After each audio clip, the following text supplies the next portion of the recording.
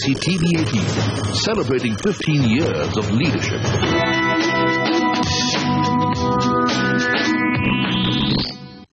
Welcome back. You're watching Crystal Ball, a budget special. I've been in conversation with Nem Kumar of IIFL. Let's talk about the budget for a minute, uh, Nem. Uh, what makes or breaks the budget for you? Do you think everybody in the market is watching that key metric that you alluded to a few a couple of times during the course of this conversation, which is that the government has to start spending. CEOs will not start spending immediately. Do you think that makes or breaks the budget from a market point of view?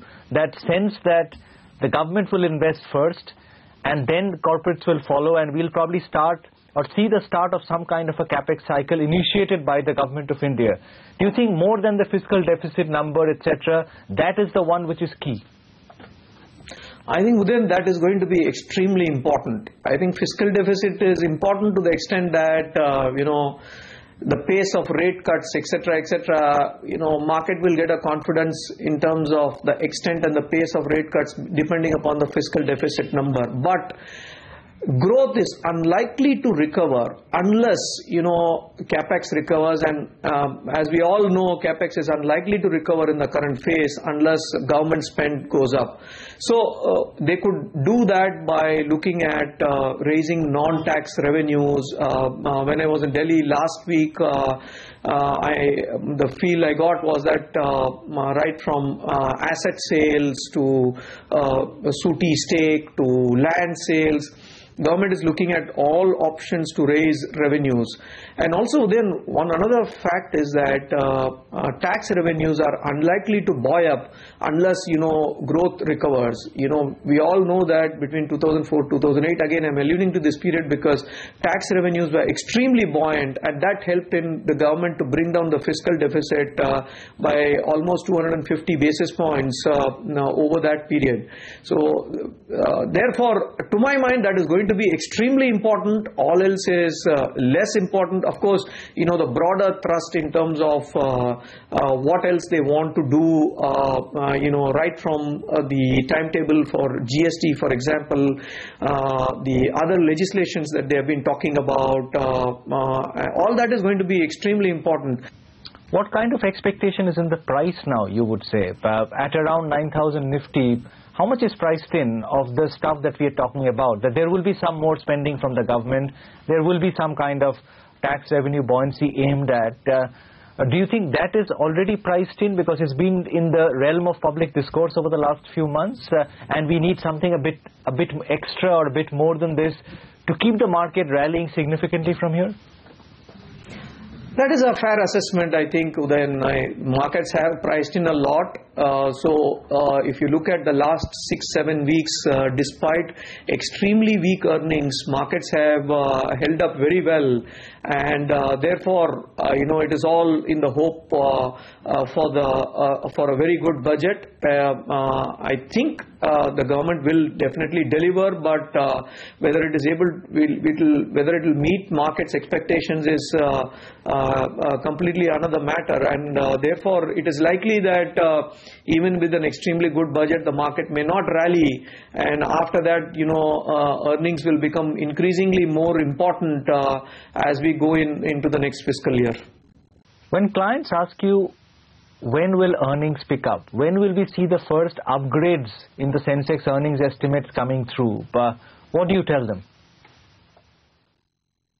I think, you know, if uh, GST is implemented, for example, or at least the visibility emerges, and uh, the uh, fact that uh, capex cycle recovery, that visibility also emerges. My own sense is that uh, first uh, quarter of next calendar year onwards, we are likely to go into a earnings upgrade cycle because then also remember that when we downgraded earnings uh, in the last three two three months, we downgraded earnings for FY16, FY17 as well.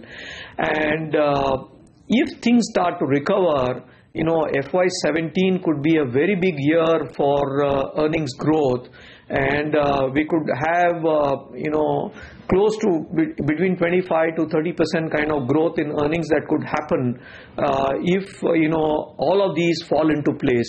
So, you know, markets are believing that this will happen at this point in time. In the next six months, there will always be moments of doubt whether this will happen or not. But if, you know, we get increasing confidence of, of the rate, the rate cycle, pace of rate cuts being uh, higher than what, uh, uh, faster than what we have been assuming at this point in time, and the fact that capex recovers and GST comes in, then of course, you know, FY17 could be a big year in terms of earnings growth. There's a debate going on in the market right now, uh, and I'm sure FIs are part of that as well, the, on asset allocation now for the next one year. Some believe that the tailwind provided by rate cuts, maybe two or three more in the next few months, is probably better played through the fixed income market, uh, where you'll get capital gains. And from this valuation level, at least for the next one year, equities may struggle to outperform fixed income. Where do you stand on that debate? On that debate? In the very short term, I think that uh, view may be right. Uh, maybe six months or so, that view could be right. But if uh, the growth comes back, uh, Udayan, and of course, you know, um, uh, uh, equities have to do uh, better than fixed income. So, next six months, nine months, maybe that view is uh, may play out right but I'm not so sure whether if one takes a two, three-year view, uh, that view will pan out because there could be probably a 100, 150 basis point fall in yields, but after that uh, it would stabilize at some point. And uh, but uh, if growth comes back, then equities could do very well. The interesting thing over the last few months, even quarters, is the return of domestic money into equities.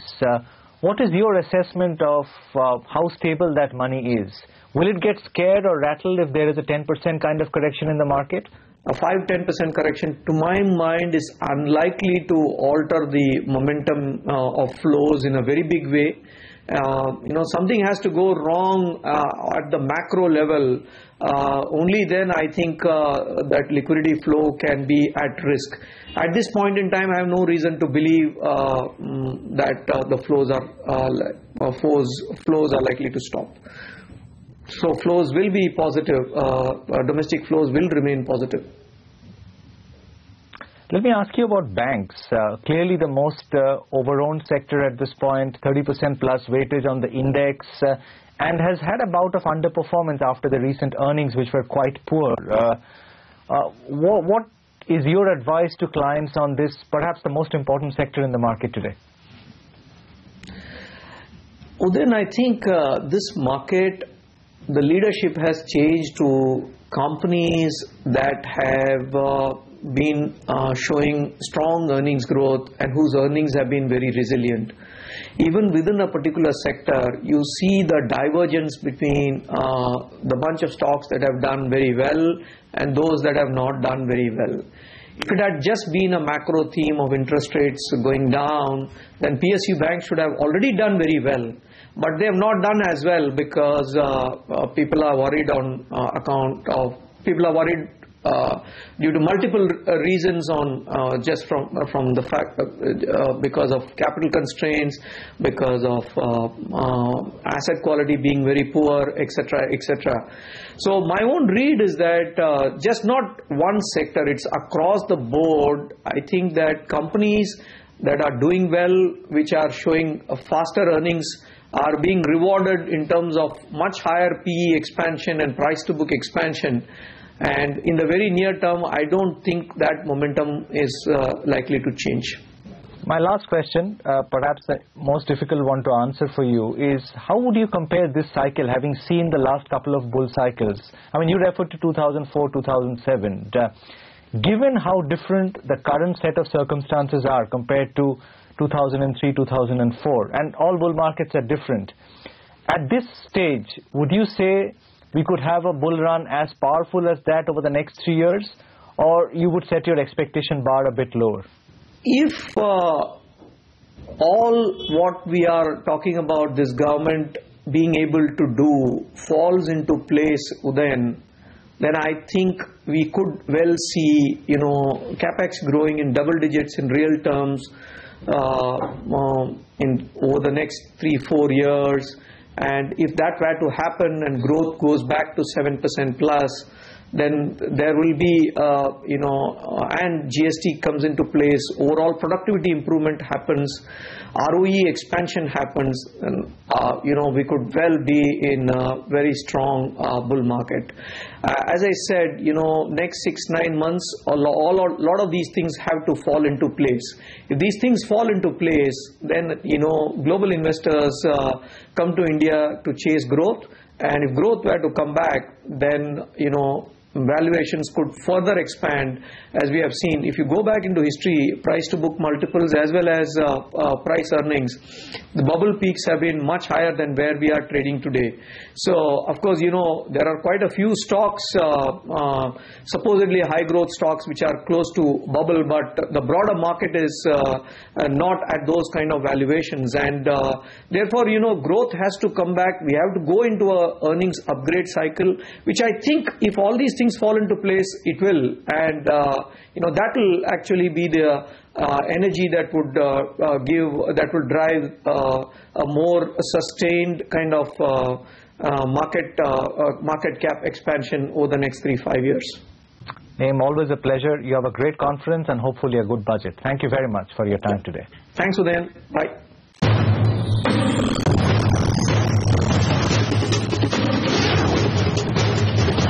CNBC TV 18, celebrating 15 years of leadership.